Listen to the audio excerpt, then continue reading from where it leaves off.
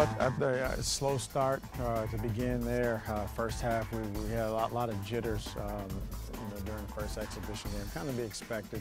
And then uh, during the second half, I thought our guys picked up their intensity and their energy, and uh, we made made a nice run there to take take over the lead. And I was really pleased by the comeback of our guys.